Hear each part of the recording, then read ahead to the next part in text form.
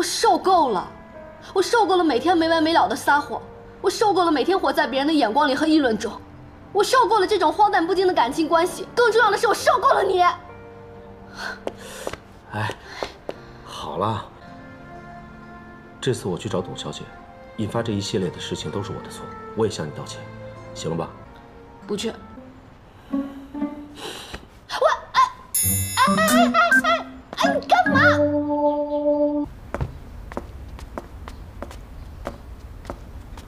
周小姐，请。啊，谢谢。你迟到了。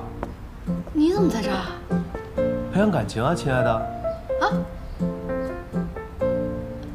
你今天不是有发布会吗？发布会就给哀家主持了。哦。你好像不是很喜欢我在这陪你啊？那我先走了。一起练吧。你来都来了。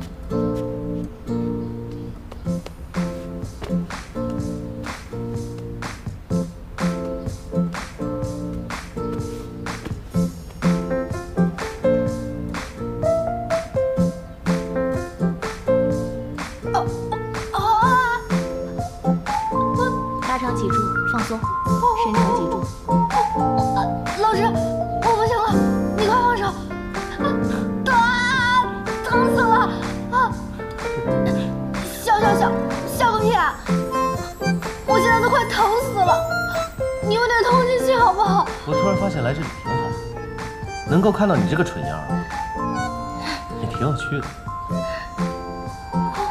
这种苦日子，什么时候能到过头啊？生命贵在煎熬嘛。啊！我看你现在就是在幸灾乐祸。好，下一个动作，需要你们两个一起配合一下。啊？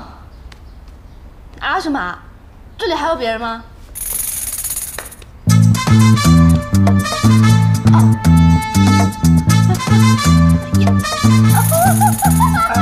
你别乱动！我我我站不稳了。你什么长大了这么重？老师，这样的很好了，可以来一打。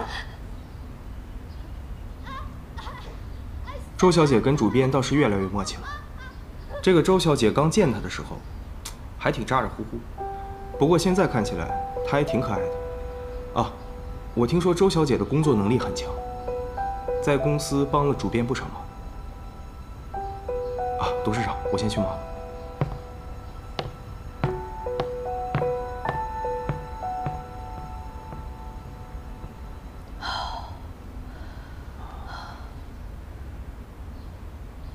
我想问你一件事情。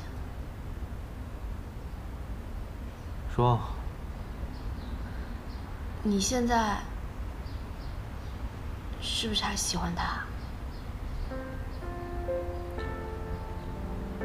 首先，我不知道你说的他是谁。然后我要告诉你，我现在心里是空的，没有任何人。心呢，就像是一座房子，即便是人不在了，家具被搬空了，但是回忆难道也不在了吗？就好像填满一个家的，不一定是那些家具，也有可能是那些回忆啊。你想说明什么呢？我，我就是想说，即便是在一个空的房间里，也难免会有一些意外吧。就好像怎么删除。都删除不掉的意外。你什么时候变得这么婆婆妈妈了？真的好烦啊！我也不想这么婆婆妈妈的，只是每次跟主编在一起的时候，就会变得婆婆妈妈的。在我这里，没有例外。那些事情已经过去了，过去了就是过去了，过去的永远不可能成为现在。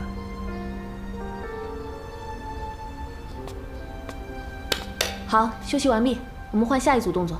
好。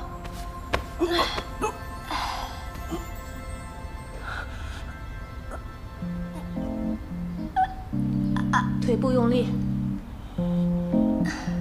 你呀有时候就是活得太理性了像一道化学公式。有时候呢又感性的像一滩水让人琢磨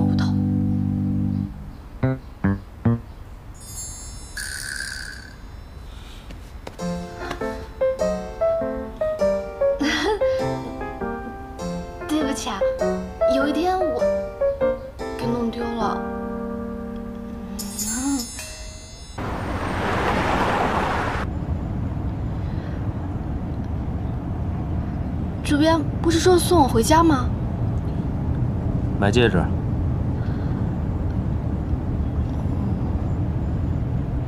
买戒指。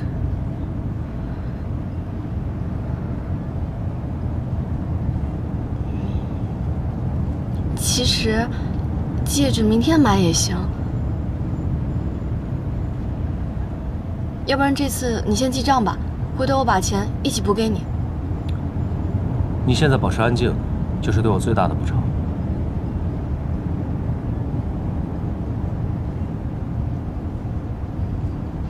我还不就是觉得自己做错了吗？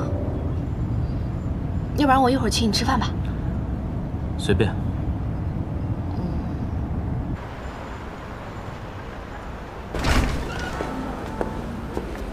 你好，你好，行，我知道了。怎么了？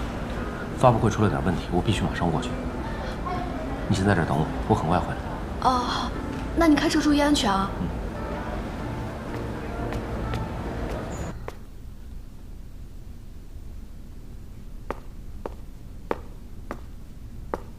喝杯水。谢谢。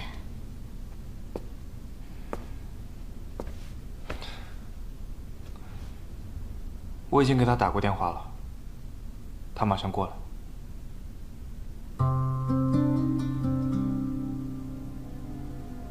没想到事情搞成这样，这不怪你。其实我应该清醒一点。明知道他已经有女朋友了，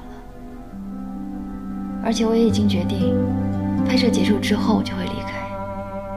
现在再多做纠缠，对我、对荣轩、对周然都是一种伤害。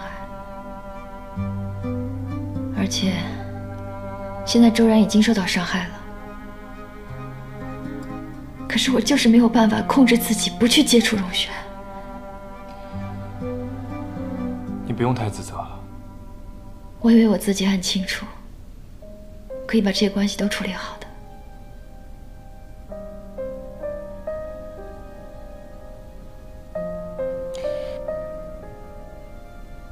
你已经做得很好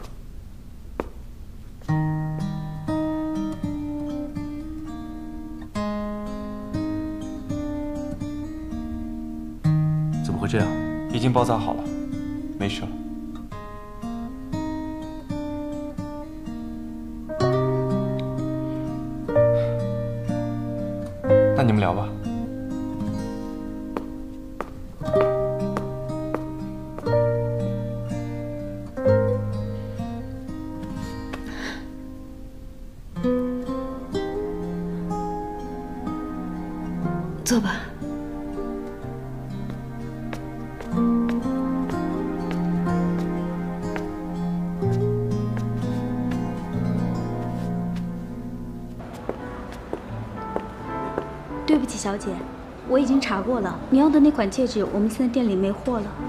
啊？怎么会没货了呢？那你帮我查一下，其他店里还有吗？我已经问过其他分店了，都没有。这款戒指属于定制款，生产的量很少，所以实在是对不起。那您要不要看一下我们其他的款式？不用了。嗯，不好意思啊，我能不能在这里等一个朋友？等他来了之后，我们再决定呢？当然可以了，请跟我来。谢谢。我没事，就是从舞台上摔下来，划伤了腿而已。你作为一个模特，应该好好照顾自己的身体，以后多注意安全。谢谢你关心我，也谢谢你来看我。作为主编，关心你是应该的，更何况，你是我们这次发布会的合作伙伴。这里就只有我们两个人，你一定要这样说话吗？那你想让我怎么说啊？我知道你恨我，但是我也不想事情变成这样，我是有苦衷的。董小姐，我觉得你想的有点多了。我们现在只是单纯的合作伙伴关系，我干嘛要恨你？还有，我应该感谢你这些天对我的帮助。至于你的苦衷，我并不想了解。可是我想让你知道，这几年我也不好过，我也过得很煎熬。会煎熬到想死吗？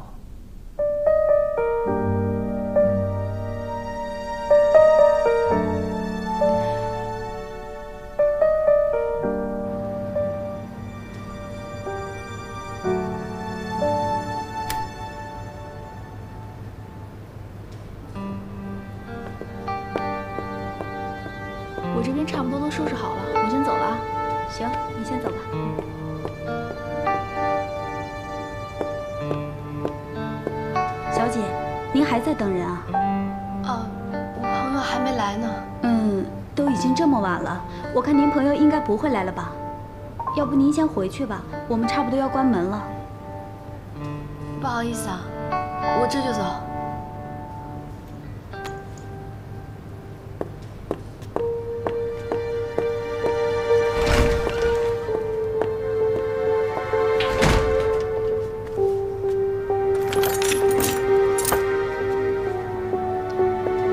小姐，你还没回去呢？他还没来呢。那你一个人注意安全。谢谢。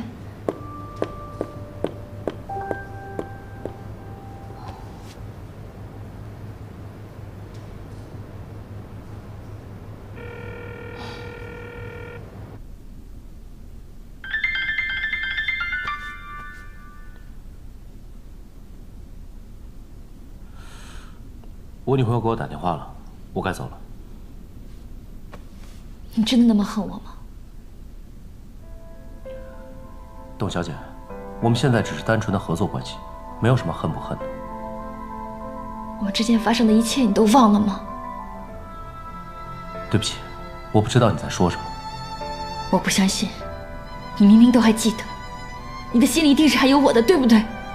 董小姐，您可能太高估自己了。我知道你恨我，但是，但是现在已经不一样了。三年前我在机场挽留过你，求过你，我给过你承诺，我答应过要给你幸福，可是你呢？还是选择了离开。我真的是有苦衷的。我不想听了。过去的事情让它过去吧，董小姐，人应该往前看。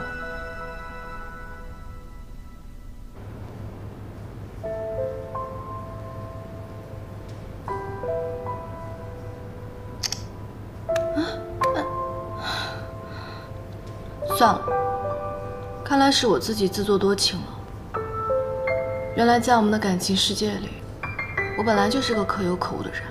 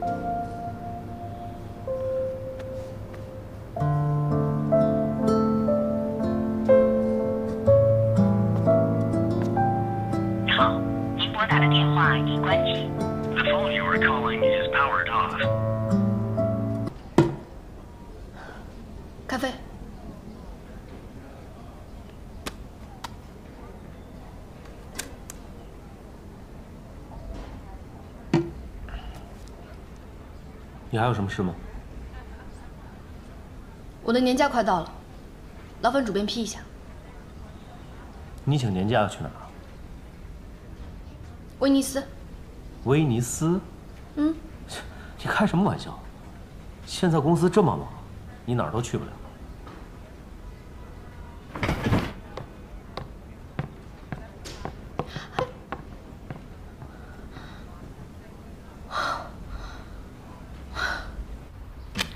这是这段时间的工资，你点一下吧。老板，如果是因为昨天那位客人，我给你保证不会再发生了。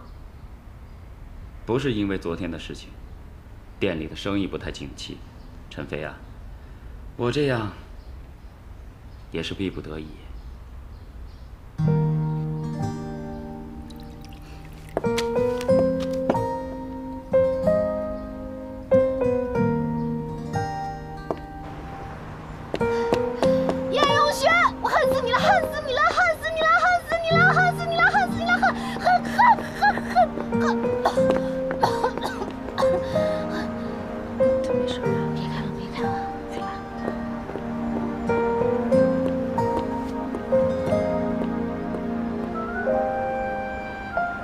生哪门子气嘛？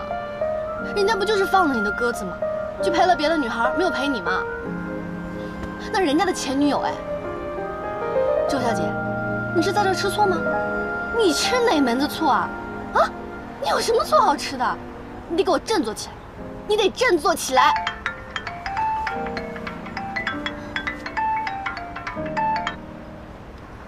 喂，小飞，失业？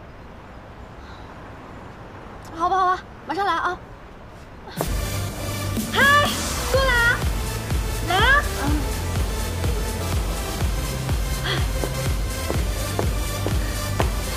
亲爱的，去看我啊！别在这闷着啊！我还以为你是失业了，心情不好，怎么跑到这儿来跳舞了？生命在运动，运动在释放。我要把所有的不开心都释放出来。那你接下来打算怎么办呀？能怎么办？想办法找工作呗。要我说呀，这件事情也不能全怪赵中仁。你在会所那种地方上班，本来就不靠谱嘛。怎么胳膊肘往外拐啊？我不是胳膊肘往外拐，我也担心你啊。没什么好担心的，我有护花使者，能有什么事啊？护花使者？就一个朋友。是朋友还是那个室友？同住一个屋檐下，互帮互助的，怎么了？你该不会喜欢上他了吧？喜欢他？怎么可能？不可能喜欢他的。我的心上人是成功人士，总有一天他会驾着劳斯莱斯把我娶回去。你就臭美吧！我跟你讲，真正喜欢上一个人的时候，你才不会管他是盖世英雄还是妖魔鬼怪。你看人家黄蓉，最后还不是选择了郭靖？小说里面都是美好的想象，现实生活是很残酷的，大姐。那个赵忠仁没联系你啊？别给我提他，心烦。哎，别说心烦事了，说说你那位吧。他有什么好聊的？怎么了？不想提，烦。发生什么事了？我感觉自己越陷越深了。我以前只是单纯的觉得他长得还可以，偶尔像知心一样犯下花痴。现在我已经开始为他吃醋了，怎么办啊？又是因为那第三者？什么第三者？人家是名正言顺的前女友，我们俩只是契约关系。说白了，我才是那个第三者。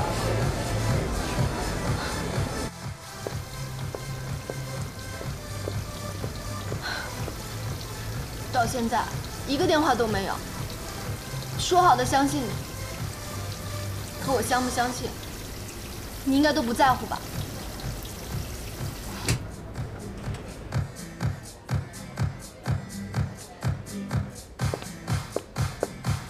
你在干嘛？在找叶荣轩的号码。你找他号码干嘛？你放！我想帮你，看你这样闷闷不乐的样子，喜欢他干脆就直接说出来啊，大不了就被拒绝嘛，又不会死。给我！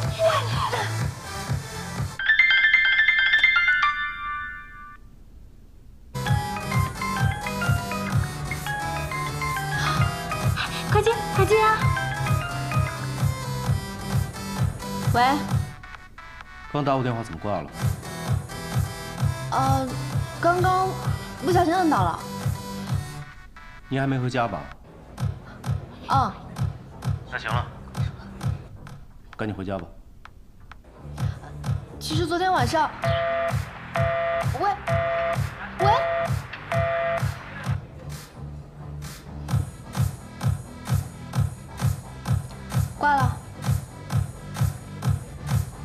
连一句对不起都没有。你呀，不要难过了，说不定他正在忙别的事啊。你不用安慰我了，你知道吗？就算叶荣轩不跟我道歉，我也不会生气的，因为我不可以生气。暗恋这种东西呢，最可怕的就是自己给自己捏造希望，所以我宁肯一直缩在角落里，什么都不说。你呀，活该单身。是啊，我活该啊！如果爱情得不到回应，是很痛苦的。唉，但是暗恋呢，是一种很安全的痛苦，只可能伤害到我自己，不会影响到别人。嗯，所以啊，只要我不说，就不会有新的问题出现，不是吗？我看你啊，口是心非，爱逞强。你要真正大方，干嘛自己在这喝闷酒？我哪有喝闷酒？我只是口渴了。醉吧醉吧，醉了好，让那些臭男人都见鬼去吧！见鬼去吧！见鬼去吧！见鬼去吧！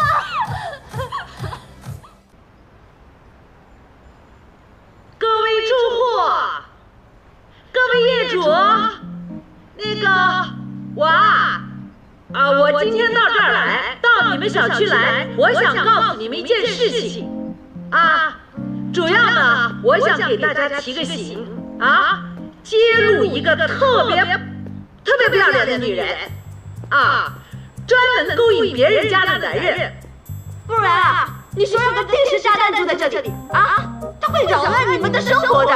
哎，别闹了，别闹了。不是，我我我我影响秩序了吧？阿姨，我这是捍卫正义，你知道吧？你这样我仗义直言，影响特别不好。你看我们小区，你看看这住户吓成啥样了都？什么吓成这样了？我让他们提高警惕，都要让他们知道这儿住着一个什么样的人，对不对？是什么叫吓着人？别喊了，阿姨，你还是走吧。哎，阿姨，把手松开！你你你胆真大，我你都敢拽啊！我多大年纪的人了？你准备拽了以后，我崩栽下去，你回家带个妈去啊？你真有！阿姨，你要是真这么闹的话，我报警了。你报，我不怕。喂，你敢承认吗？你消消火，阿姨。阿姨，阿姨，您找我啊？出大事了，跟我走。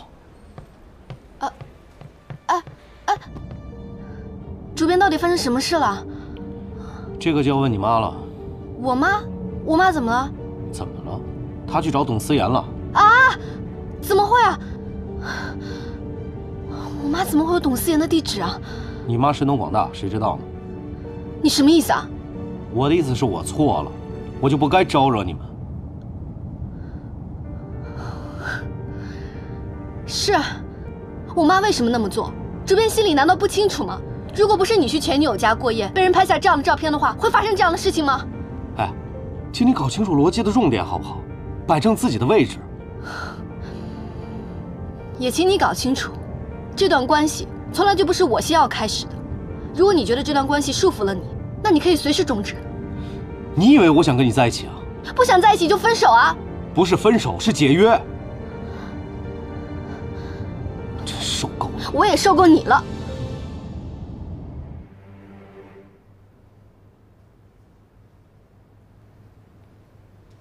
阿姨，我看您是长辈，才不跟您计较的。一会儿人来了，会跟您解释的。你不跟我计较啊？你这人真会说话。人要脸，树要皮，年纪轻轻的，长得也挺好的，人模狗样的。你说外边人不是多着呢？啊，男人又没有死光了，你为什么要非得抢人家的人啊？真有意思。阿姨，您讲话能不能不要这么难听？我劝您真的别在这儿闹了。您不嫌丢人，我都替您丢人。人家要真喜欢你女儿，抢也抢不走。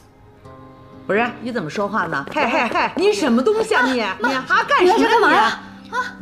什么叫我？哎，你知道他干了什么吗？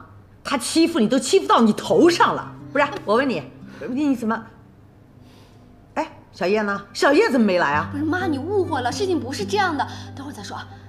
董小姐，对不起啊，我看是误会了。回头我再跟你好好解释解释。干嘛呀你？你跟他说什么对不起啊？妈，他对不起你。他没有对不起我，都是误会。四爷，真的不好意思啊，回头我再来找你。不是走了吗？什么呀？干什么呀？干什么要走啊？他干了什么呀？他妈，走不走？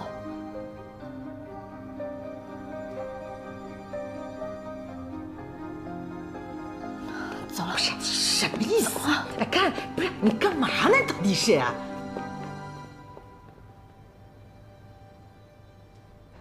不是，不是弄了弄半天，这什么意思啊？是是假的啊？当然是假的啦。不是，那那那，你说这上边，你说是不是像模像样的？啊？妈，他不写的像模像样的，这书还能卖得出去吗？叶文轩的圈子呢，就是这样的一个圈子，保不齐明天还有更多不切实际的新闻呢，咱们不能信的。很多新闻就连当事人自己都不知道的。不是周然，你别骗妈啊！如果要是真的，小叶要做了对不起你的事情，妈妈，我我我得找他算账去。妈，我没骗你，这些新闻真的都是假的。你看这个娱乐圈不就是这样子吗？今天报道哪个明星离婚了，明天又把哪个明星出轨给爆出来了，没有一个是真的，都是些小道消息，咱不能信啊！真是的。其实你说妈也不是闲着没事儿，你说成天就看什么娱乐杂志呢？就那个徐老太太，跟你说，你看她，别看她个子矮，她心眼多着呢。就她，她来告诉我的，怎么会这样？妈，都是假的，这回你放心了吧？是假的，那我肯定放心。只要你跟小叶能好好的，妈肯定放心。啊。嗯，你放心吧，刚刚我们俩还一起吃饭呢。不是，那那那那个女孩子怎么办？我我把人家给……没事啊，一会儿我去跟人家道个歉，放心吧。啊，那你好好跟人道歉啊！你说我，我得上班去了。我告诉你啊，我从洗衣店出来时候，老板根本就不知道。他要是知道，我肯定要骂死我了。还有那徐阿姨，那徐老太太，我饶不了她，我得找她算账去。行了啊，这叫什么事儿？快走吧，快去上班去吧。那你跟那女孩说一声啊，我特不好意思把人家给骂的。我走了哈。嗯。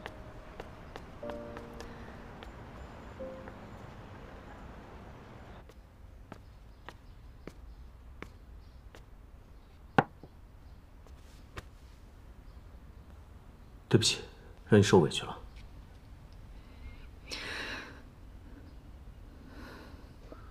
你没事吧？我没事。你不要在意那些话。那你呢？你在意吗？我只是不希望身边的人说出那样不堪的话。我为这件事情向你道歉。如果那些不堪的话都是真的呢？你什么意思啊？如果我，我真的就是你跟周然之间的第三者，我真的就是那个恬不知耻的插足者，我能把你的心夺回来吗？董小姐，你还是好好休息一下吧。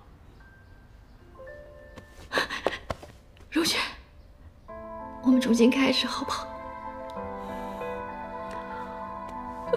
我们重新开始好不好？董小姐，董小姐，我已经有女朋友了，你好好休息吧。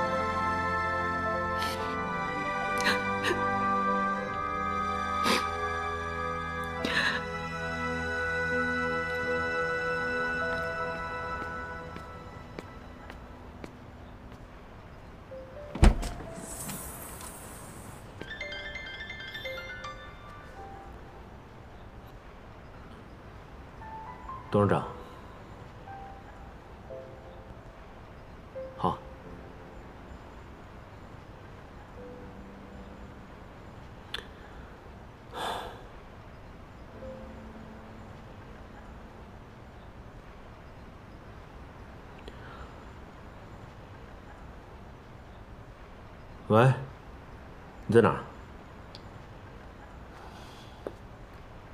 我在你身后。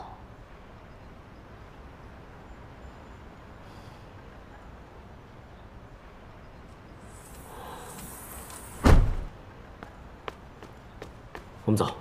干嘛？灭火啊！不去，爱找谁去找谁去。你怎么回事啊？董事长等我们呢。这出戏我唱不下去了，你爱找谁唱找谁唱去。你什么意思啊？我不想让今天这样的事情再发生了。今天受伤害的是董小姐，明天可能就是我妈，最后还可能是董事长。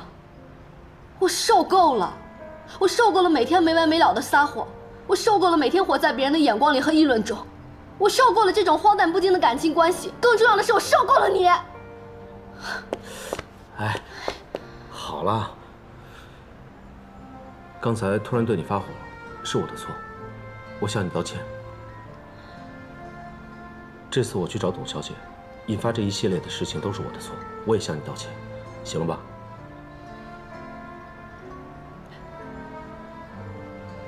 走吧。不去。见好就收啊，不要得寸进尺。你这什么态度啊？你走不走？我不走，我今天就站在这儿，我哪儿也不去。我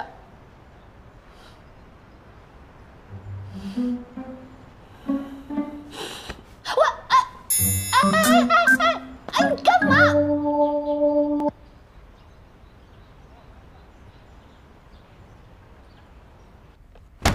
说，你要怎么解释？不过就是些小报媒体的花边新闻罢了，无非为了博人眼球。无风不起浪，这应该不是无中生有吧？董事长，这次是我疏忽了，不过我已经找人处理了，我会通知公关部尽快平息谣言，肃清影响。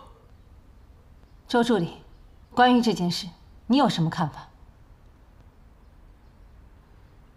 我倒觉得，这未必是一件坏事。哼，没想到你这么大方，自己的男朋友和别的女孩子闹绯闻，你还可以那么贴心。我只是从公司的角度来讲，伊娃最近就要举办发布会了，我不想这个时候，因为这件事情牵扯我们过多的精力。更何况，主编也是刚刚上任，这样的事情。也会扩大他在业界的影响力。如果这样的绯闻没有坐实的话，不是对我们公司有利无害吗？可是你要学会自己的东西要自己看好，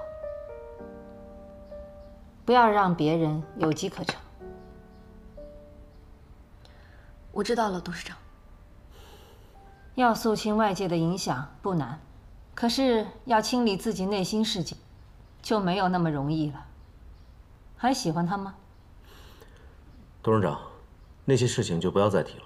你还没有回答我的问题。我不喜欢。我今天让周助理过来，就是要让你当着周助理的面，说出你的选择。说吧。董事长，我承诺，这个项目结束之后，我就会解除跟董思妍的合约，再也不跟他联系。我希望你不要忘记自己的承诺。周助理，嗯，你们俩交往了多久了？呃，两个月零两天。那你觉得你对荣轩了解够吗？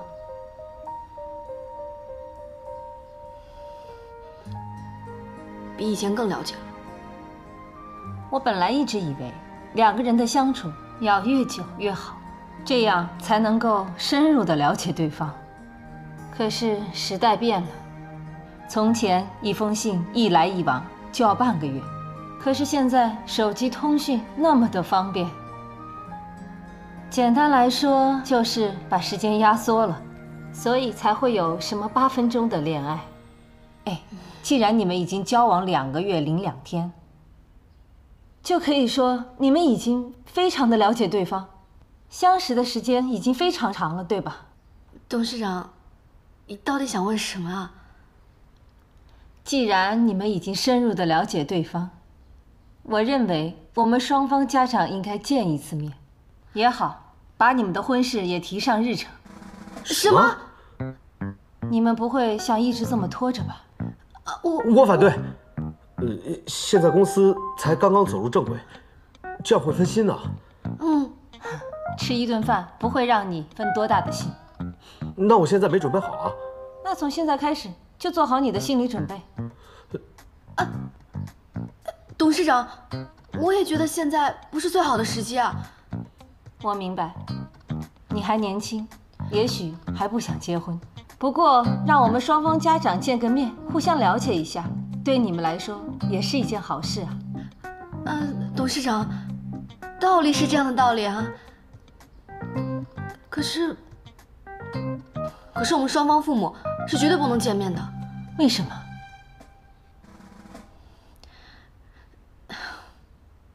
因为。因为我们，因为他妈妈的身体不太好，是什么问题呀？跟我说说，我可以，我可以介绍好的医生、好的医院给他。呃，呃，不光是身体的问题啊，那什么问题呢？啊，可能是我爸爸当时走的太突然了，对妈妈打击很大吧。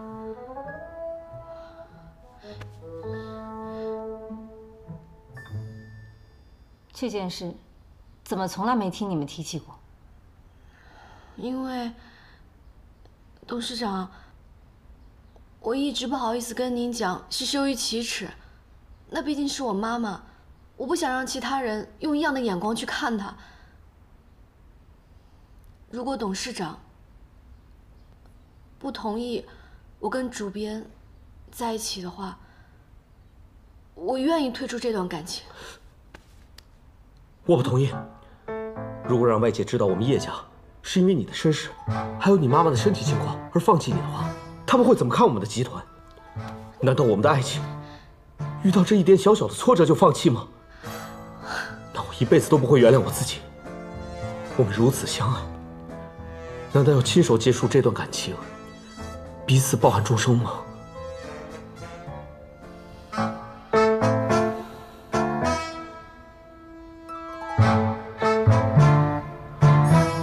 不管怎么样，我绝对不会跟你分开的。没想到你们交往才两个月零两天，感情就这么深厚。这么看来，双方家长见面是必须的。董事长，我明白，我明白你是怕你妈妈会出丑，让你脸上无光。可是你放心，我是不会为难她的。再说你妈妈的病情也不是一时之间可以治好的，毕竟她是你的妈妈。我们见面，这是一定要的。董事长，可他妈妈就这么说好了，这个周末我们来一次双方家长正式的见面会。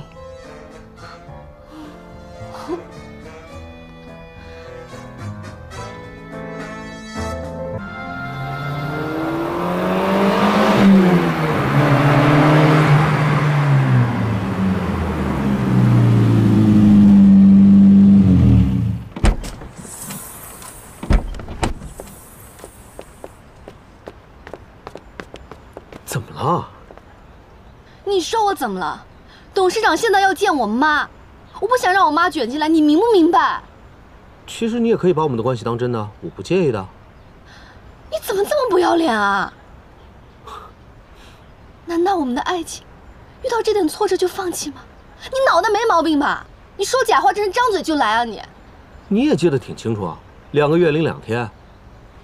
我天天在地狱里生活，当然记得清楚。有那么痛苦吗？假亦真实，真亦假，你也可以把我们的关系当真的啊。对不起，当真不了。哎哎，我给你加薪怎么样？你是不是认为所有的东西都可以用钱买到啊？是不是认为我对你的容忍都是因为我拿了你的钱啊？我真不是这个意思。我们现在已经没有别的办法了。你不了解董事长，他这个人想要做的事情是没有人可以忤逆的。钱我会还给你的，咱们解约吧。为什么啊？这样不好吧？不好，叶荣轩，咱们已经玩大了，你知不知道？是，我是拿了你的钱，但是我就是不想让我妈也卷进这场子虚乌有的爱情里面。今天发生的一切还不够警醒我们的吗？董小姐那边我去道歉，这件事情我玩不下去了。这这怎么会是在玩呢？这难道不是玩吗？我们之间一切都是假的，我们只是临时恋爱关系，不是吗？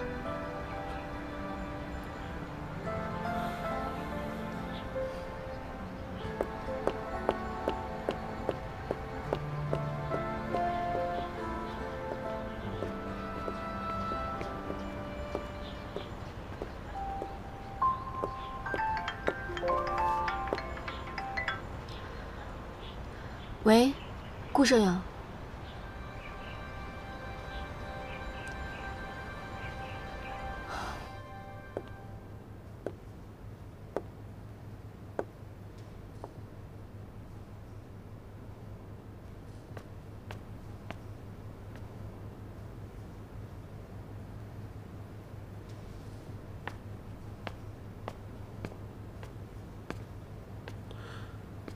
你怎么在这儿？我在这儿等你，等多久了？没多久。我是为白天的事情来的。我想向你道歉，是我一时没有把握好我们两个之间的关系，对不起。上去说吧。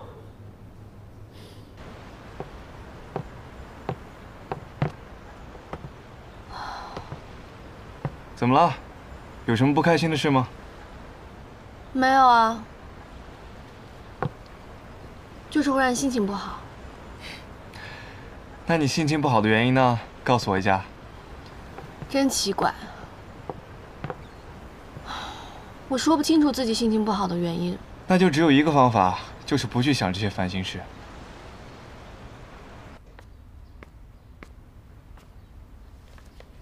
谢谢。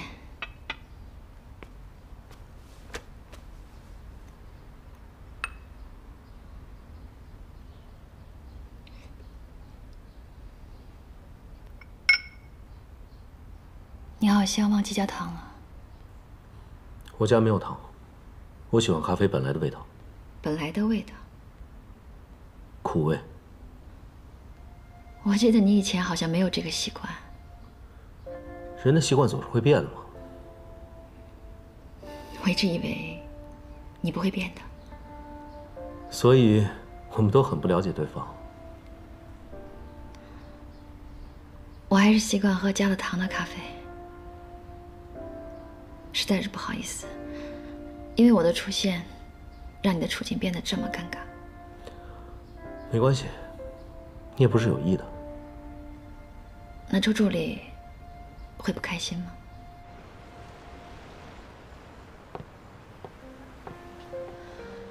这城市真美啊，就是有的时候觉得美的不够真实。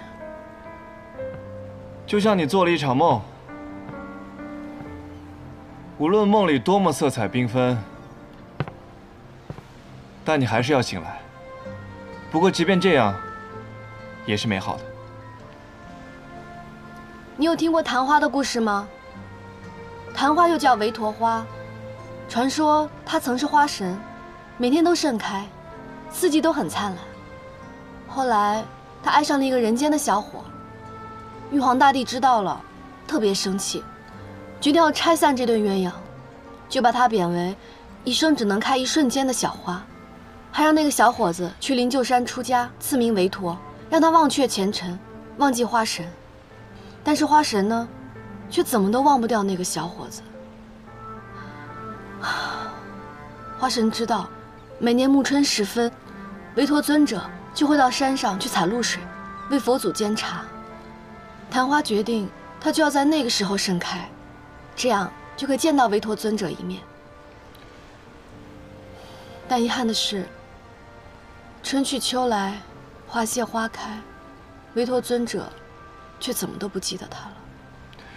昙花一定很难过，对不对？嗯，他当然难过了。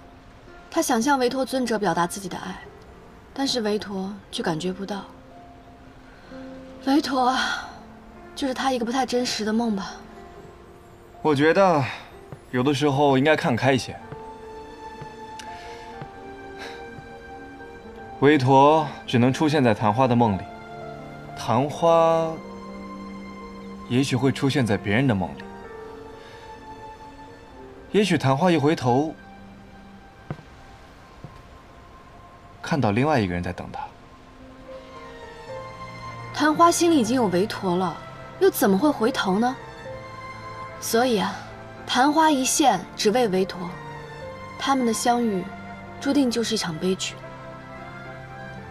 爱情之所以为爱情，就是因为它偏执。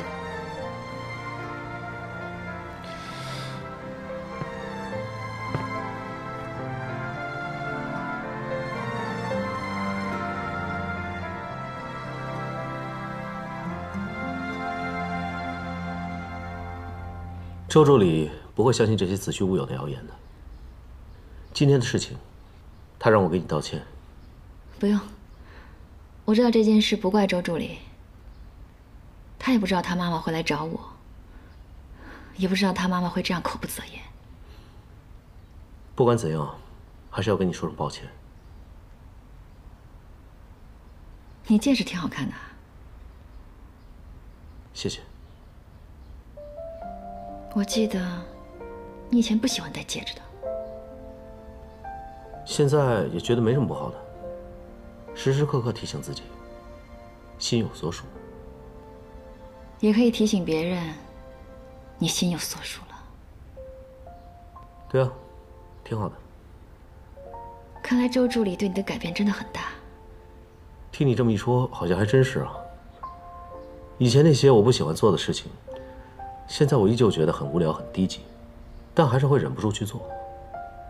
说不上来什么感觉，但就是很快乐。看来周助理真是个好女孩。嗯，她的确是个好女孩，所以我更应该好好珍惜她。我知道我的出现让你觉得很尴尬。这次活动结束之后，我不会再跟你有任何来往。那更好。这样对你我都好。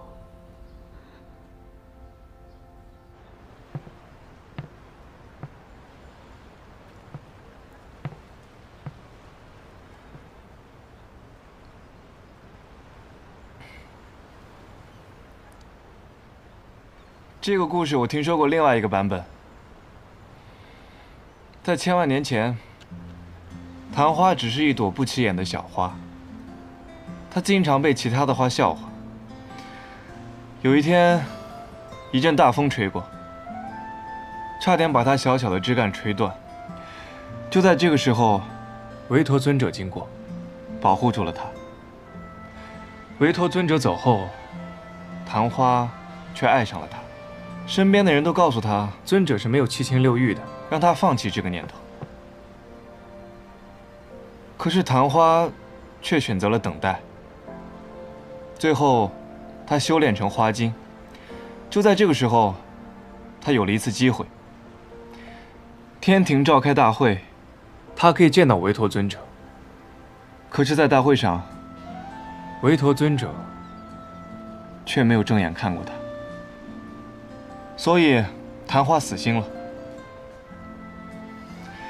他说，他要绽放出最美丽的一次给他看。就在这个时候，他耗尽了他千年的修炼，绽放出他最美丽的一次。唉，这个时候，尊者掉下了一滴眼泪。所以，昙花又叫维陀花。你的这版故事呢，虽然有些悲情，但是也有一丝的温暖。你跟我说过，不要像大鼻子情圣一样，因为害怕懦弱，放弃自己的爱情。当爱一个人的时候，要勇敢的去爱，不要犹豫。嗯，我才不会像大鼻子情圣一样懦弱。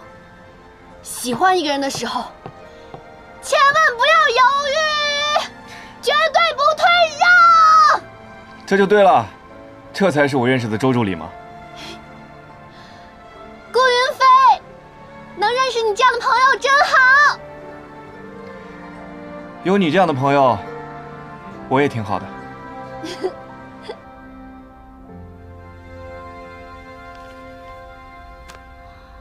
我差不多该回去了。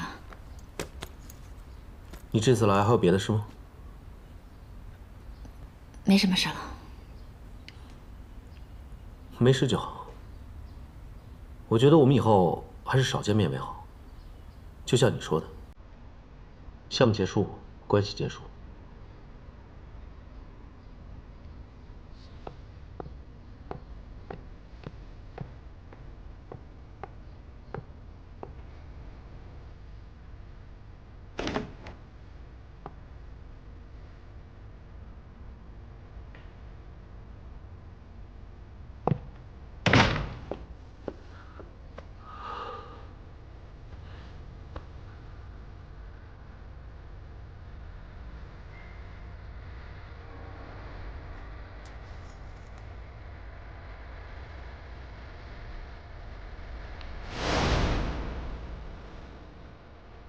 好漂亮啊！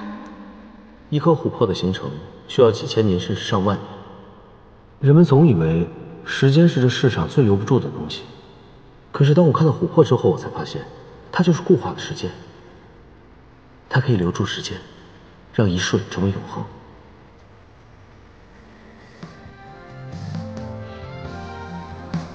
我们就叫它时光吧。我把这串时光送你。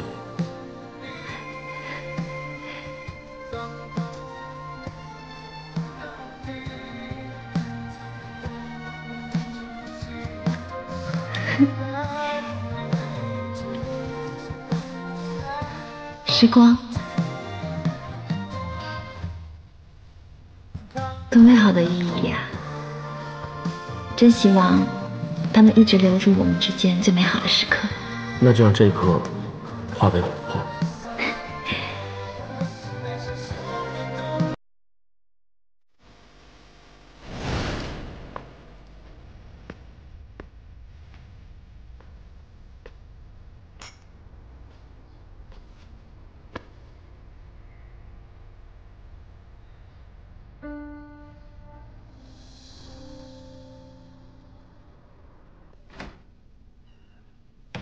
妈，我回来了。你怎么那么晚回来啊？加班。你吃饭了没有啊？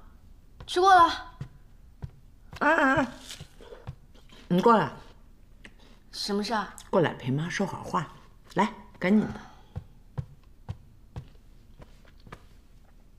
哎，不是你上次你说那个，你说那个小月，嗯，跟那个董什么来着？思妍。董思妍董，嗯，你说是新闻炒作啊？啊，你说我，我特不踏实。你看那电视上说的，说这个明星吵着吵着就成真的了。不会的，妈，我跟你说，他们俩就算是炒糊了都不会在一起的，真的。不是，你说你怎么那么傻呀你？你缺心眼儿你？不是，你干嘛总是天天说我傻呢？我哪儿傻了？你不傻那么笃定干嘛？那我傻随谁啊？我是你生的，还不是随你？我有你那么傻呀？我跟你说，你自己你得，你得长点心眼儿。哎呀，你别吃这个，我没洗呢，一会儿我给你洗去。我问你，跟小叶结婚的事情你提了吗？妈，这事儿你能不能别管了？你要不是我女儿，我懒得管。那你就省省心啊！我问你呢，你跟他提没提啊？提没提啊？我怎么提？我们到现在，我我们俩才认识两个月。哎呦，我的天哪，两个月啊！你再拖，孩子，你再拖，再拖就拖成跟郭瑞一样的。你一拖呢，被人家一脚踹掉。你忘掉行了吗，我心里有数啊，别管了。到家了吗？到家了，而且还接受了一顿批评教育。批评教育？如何稳准狠的将一个男人收入囊中？那有结论吗？有啊，结论就是下辈子我当个男人，然后娶我这样的女人。你这也太可爱了吧！恐怕我现在是可怜的没人爱了。怎么会呢？你要相信，你是这个世界上最优秀的人。谢谢你啊，顾舍友。朋友之间就不要说谢谢了。今天辛苦了，早点休息，晚安。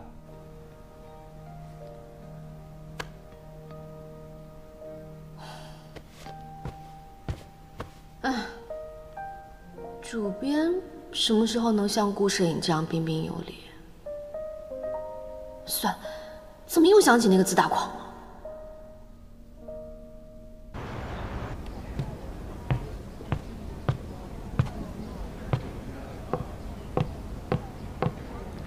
什么事儿？说吧。先把门关上。我看没这个必要了吧？咱们俩之间的谈话也涉及不到公司的机密，就这样吧。打开天窗说亮话。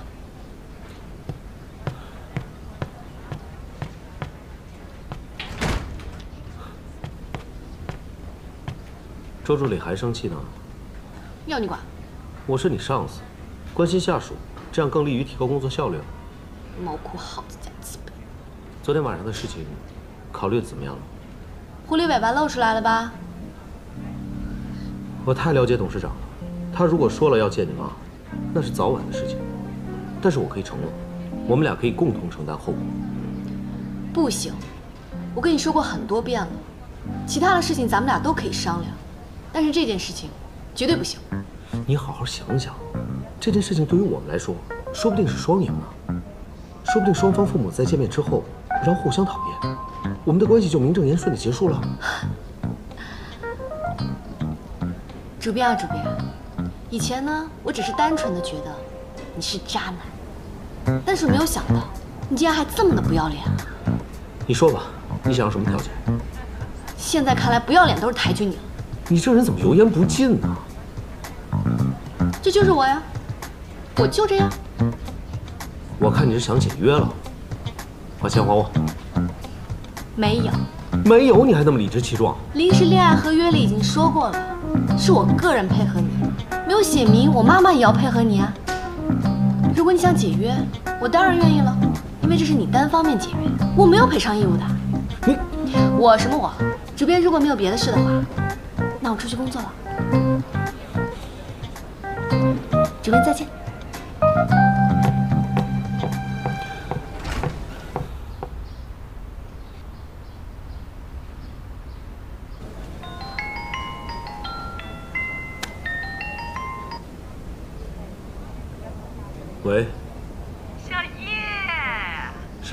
你哪位？我哪位啊？我是周然的妈妈呀。啊，是阿姨啊。你在干嘛呢？啊，实在不好意思啊，刚刚有员工太不听话了，所以我刚教育了他一下，没想到您给我来电话了。别生气，啊，管理一个公司确实很不容易的事情。我跟你说，奖赏分明就行，你自己绝对不能生气啊。对对对，阿姨说的对，所以我刚才已经狠狠教育他了。对了，阿姨，您找我有什么事吗？呃，其实也没什么大事，呃，就是想找你聊聊天。你有时间吗？什么时候啊？阿姨什么时候都有空，我现在是看你的时间。要不这样吧，今天晚上我有空，正好我也想吃您做的菜了。真的？不，小叶，这是你说的啊。今天晚上，哎，我现在就去买菜了啊。那那个晚上见。好。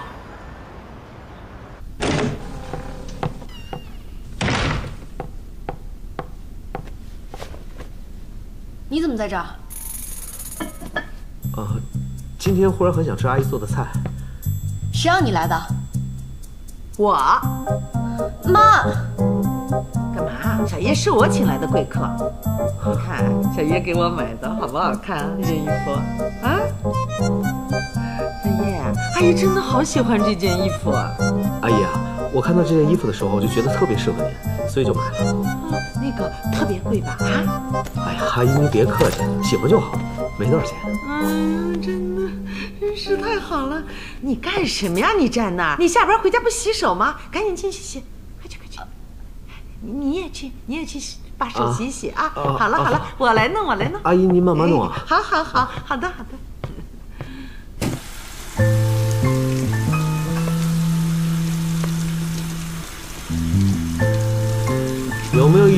人生何处不相逢的感觉？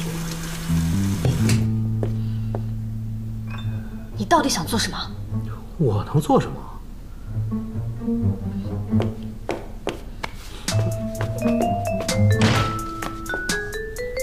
你早就想好了算计我是吗？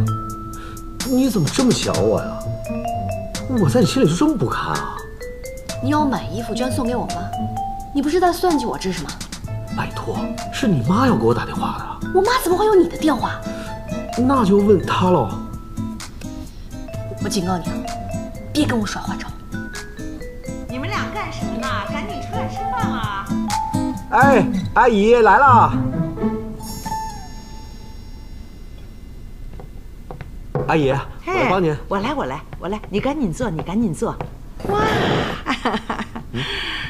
干 什么呢你？坐坐坐，小叶坐。啊！哎呀，小叶，你先尝尝我做的菜啊！你看看阿姨做的菜合不合你胃口啊？特别好，阿姨做的菜看着就有食欲，色香味俱全。马屁精！哎呀，你干什么呢？你怎么说话呢？好就是好嘛。再说你不能跟小叶这么说话，人家是你上司。哎，小叶，来来来，吃鸡腿啊！谢谢阿姨。嗯，妈，你怎么给我夹？好，给你夹。你真是个大小孩。不是，你明明知道我也喜欢吃鸡腿啊！不是，你怎么还像个孩子一样呢？这个人，不是晚上嘛，我做了半只，那半只鸡不就是一条腿吗？明天，明天我给你做啊。好啦好啦好啦，别耍小孩子脾气，来来来，碰一下碰一下，我们一起碰一下，欢迎小叶，来碰杯。嘿嘿嘿嘿，嗯好，嗯，小叶，吃菜啊。嗯。你和那个我们家周然处了多长时间了？是不是有两个多月了？嗯，对，两个月零两天，加上今天的话是两个月零三天。哎呀，你说你这孩子啊，不是你怎么记得那么仔细啊？对啊，这说明什么？说明你对这段感情看得特别重，对不对？那当然了，我珍惜我们在一起的每一天。嗯。哎呀，不是你们那个两个人处了。也时间不短了啊，两个人又这么好，那有没有把这个婚姻大事提到日程上啊？不是妈，你瞎说什么呢？什么婚姻大事？提什么日程啊？我把婚姻大事提到日程上来，我怎么叫瞎说呢？那什么意思啊？那按你说的话就一直拖下去啊？不是，我这么一直耗着怎么了？我现在也不是不挣钱，是不是？我又没有白吃你的饭呀。你看你，你都吃了我二十多年，你说这孩子……不是，我吃了你二十多年的饭，也是你自愿给我做的，是不是？还有，现在是我结婚，不是你结婚，你怎么比我还着急啊？不是，我妈是不是想结婚呢？我妈想结婚，我支持啊。你结婚的时候，我给你当伴娘。你有点没大没小啊！你说话啊！阿姨别生气，周然他不懂事，您别跟他闭嘴见识。跟你有什么关系啊？赶紧吃，吃完回家。你干什么这么说话啊？你你你要那个的话，你你你走，这家是我的，对不对？你走。我我凭什么走啊？这是我家。哎，谢阿姨。我我听听你的，你是怎么想的？阿姨啊，我在跟他谈正经事情，是大事情。我希望你不要捣乱，要再捣乱，我请你出去。你给我好好说啊！不理他，说。阿姨啊，我跟周然的事情吧，其实我妈昨天想要见见来着，但是我觉得有些唐突，所以就没好意思跟您提。你看你这个孩子做事情真的是，不仅懂事，你还周到。妈，我看没这个必要了吧？我觉得有这个功夫，你在家打两圈麻将挺好的。你不开口行吗？哎，小叶，你说，你说。嗯，阿姨啊，其实我有个事儿，能不能跟你说？说，你说，你跟阿姨说。我跟周然算是自由恋爱，可是我妈这个人吧，挺不讨人喜欢的，喜欢看家事。不过您放心，我绝对不会让周然受气的，毕竟我们两个人的恋爱是我们自己的事嘛。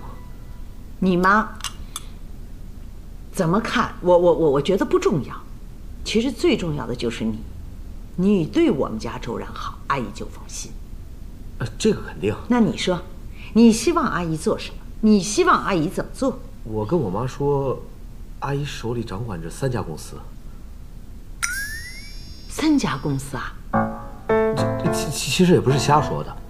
您看啊，阿姨您之前是做足疗鞋的，所以我跟我妈说，阿姨手里有一家医疗器械公司。啊，这这这这有可能的啊。您看这第二家，阿姨不是喜欢炒股吗？所以我就说，阿姨手里还有一家投资咨询管理公司。可以啊，这这也对的。这第三家可能有些唐突了。我说，周然的爸爸是大学教授，您手里还有一家教育投资公司啊。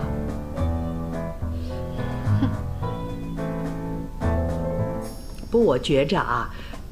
嗯，也是有根据的啊。不不是，妈，能不能不要说你胖你就喘啊？咱们家跟教育有什么关系啊？我们一般管老师叫什么？叫什么？园丁，对不对啊？你爸爸你自己想想，我跟你说，周然爸爸活着的时候啊，那个专门送送花呀给人，他也喜欢修剪修剪草坪啊。嗯。那那那不就是园丁吗？那叫什么？是不是叫园丁啊？你说，这个关系不就连上了吗？完全能够连得上的呀！妈，你能不能正常点啊？我怎么就不？我觉得阿姨说的对，你说是不是？你住嘴！你干什么呀你？我什么？我干什么？我不允许你去啊！不是我为什么不能去啊？我不明白啊！不明白现在是我结婚还是你结婚啊？你你结不结婚我都得去啊！凭什么？凭我是你妈呀！不是，那行，凭你是我妈，那你帮我结婚去吧。是你就不讲道理了？什么叫帮你结婚啊？我现在是帮你去见他妈妈。妈，你听我说，什么扯远？哎呀，根本就是完全是一回事嘛！你这不讲道理，你这是绑架，这是道德绑架吗？你妈妈说的对，要听妈妈的话。小叶，你说的对，听妈妈的话，听见了没有？来，小叶来。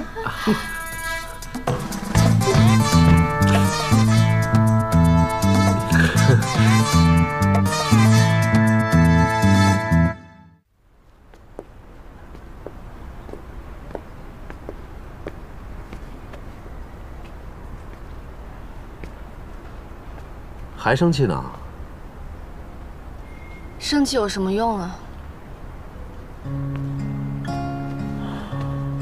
我们两个人的关系，就像是一场虚无缥缈的梦。我们两个在这个梦里就好了。现在他们都卷进来了。可是从我们关系开始的时候，他们就已经在这场梦里了。但是这场梦总有一天会醒过来的。醒来之后，让他们怎么面对？你也别那么悲观，总会有好事情发生的。但愿吧。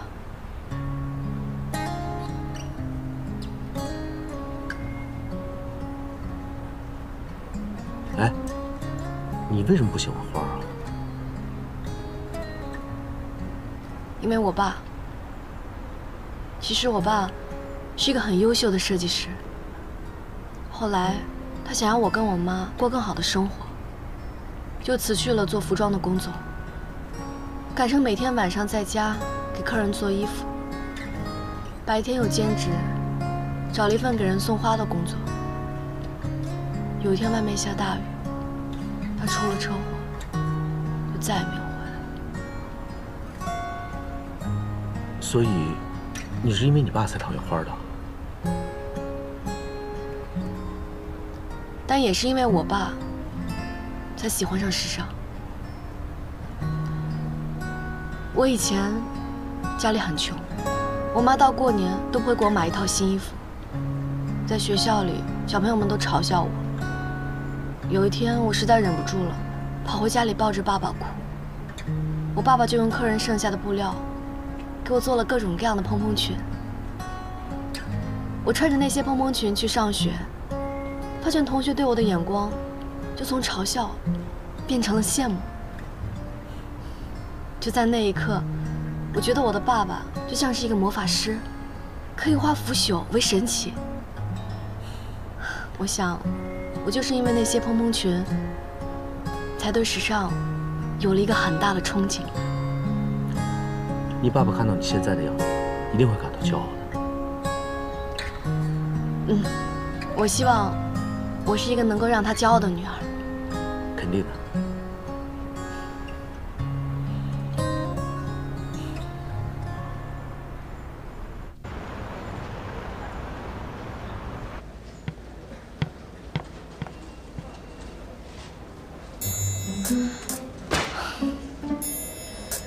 渣男，明明知道我不喜欢你，你还故意送花给我。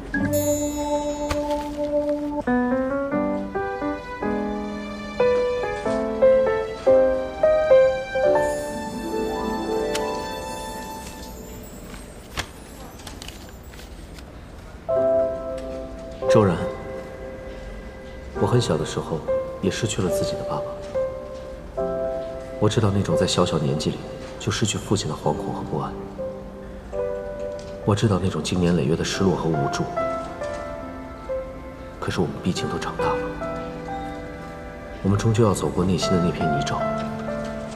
我想，现在你爸爸应该会为你骄傲的，因为你始终在做着自己喜欢的事情，追逐着。自己矢志不渝的理想。你说你的爸爸有一双魔术师的手，这双手可以化腐朽为神奇，用一块一块的碎布料为你做出人人艳羡的蓬蓬裙。从那个时候起，你想要把美好的一切带给这个世界。你知道吗？你真的有一个伟大的爸爸。他带给世界的都是美好的东西，不管是你的裙子，还是他为别人送的花。所以，你不应该因为爸爸的去世而讨厌花。你应该想到的是，直至你爸爸生命的最后一刻，留给世界的都是美好。